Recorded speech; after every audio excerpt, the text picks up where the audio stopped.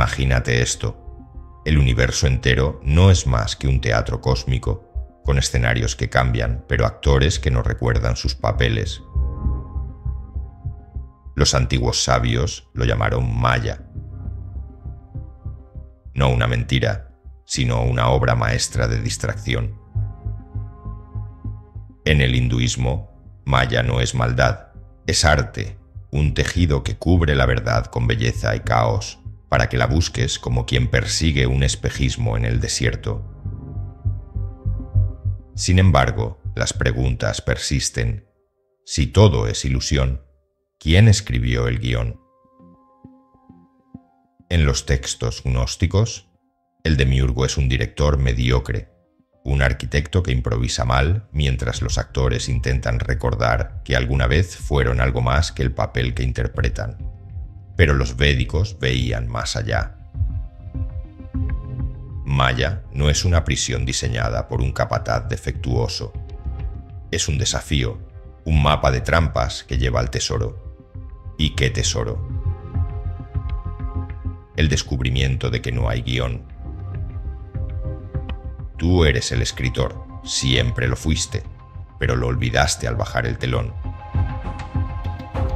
La realidad, dijeron los sabios, no está en los objetos, sino en la conciencia que los percibe. Lo que ves, sientes, tocas, no es el mundo. Es tu interpretación, una pieza de software que ejecuta la simulación que llamas vida. Como cualquier gran obra, esta simulación necesita un buen editor. Los sentidos filtran la información, recortan el exceso y te entregan un mundo digerible. Pero aquí está el truco. Esa edición no es la historia completa. Todo lo que no percibes, el ultravioleta, el infrasonido, la conexión profunda entre cada átomo, es lo que Maya oculta, invitándote a mirar detrás del escenario Bienvenido a la máquina. Años después llega la tecnología y con ella la metáfora moderna, la simulación computarizada. The Matrix nos lanzó la idea de que vivimos en un programa creado por máquinas. Pero lo que pocos notan es cómo esta narrativa es solo una actualización de un mito ancestral. Cambia el demiurgo por inteligencia artificial Cambia Maya por líneas de código y obtendrás lo mismo, una realidad prestada. Piénsalo, el ADN es código, tu cerebro es hardware y tus pensamientos son software que corre en el sistema operativo de la cultura. Si el universo es un simulacro, cada elección, cada emoción, es un subprograma ejecutándose dentro de un marco que tú no diseñaste.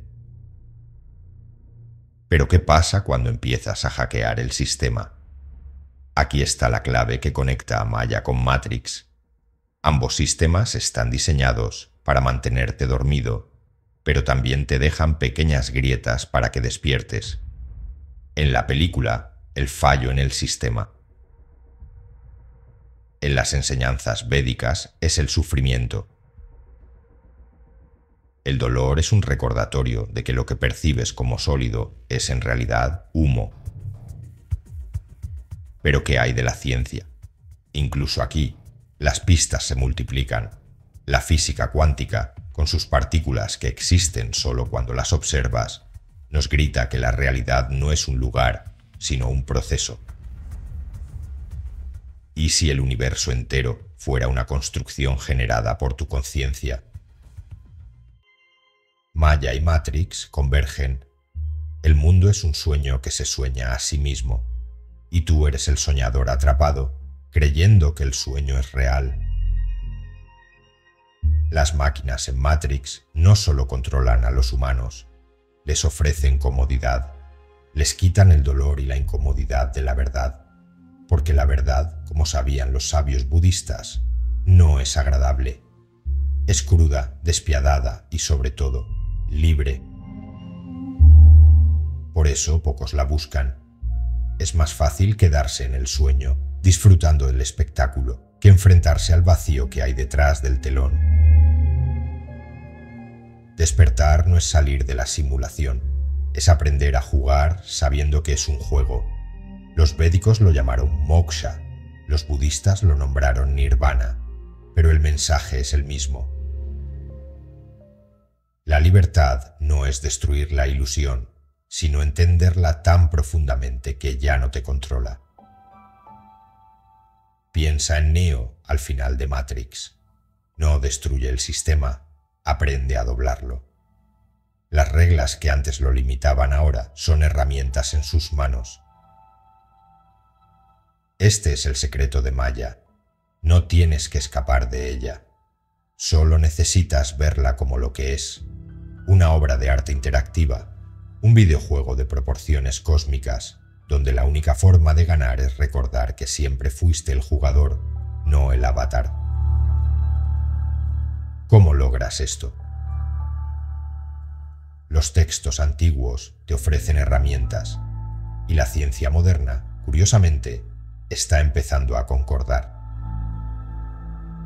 La meditación, por ejemplo, no es magia, es reprogramación. Cuando te sientas en silencio y observas tus pensamientos, estás desactivando el software que controla tu percepción. Estás hackeando la simulación desde dentro. El budismo zen tiene una frase que encapsula esto. Antes de la iluminación, cortar madera y llevar agua. Después de la iluminación, cortar madera y llevar agua. Lo que cambia no es el mundo, sino tu relación con él. Sigues en la simulación, pero ahora sabes que es solo un juego, y eso lo cambia todo. El científico Carl Sagan dijo una vez, somos polvo de estrellas reflexionando sobre las estrellas, pero quizá deberíamos ir más allá. Somos simulaciones preguntándose si son reales, soñadores buscando al soñador. La respuesta, como enseñaron los védicos, no está en el código, sino en quién lo interpreta. Entonces, ¿Te atreves a despertar al jugador que siempre fuiste? No esperes destruir el juego. Juega con sabiduría, porque el juego, al final, también eres tú. Si algo queda claro entre Maya y Matrix, es esto. El propósito no es escapar, es entender que la ilusión y la realidad no están separadas. Son dos caras del mismo espejo reflejándose infinitamente. La próxima vez que mires al cielo, pregúntate, ¿es esto real o es solo otra capa del velo? La respuesta no importa tanto como el hecho de que, al hacer la pregunta, ya estás comenzando a despertar. Si te ha gustado el vídeo, no olvides suscribirte para disfrutar de más contenido similar. Gracias por ver, saber y sentido.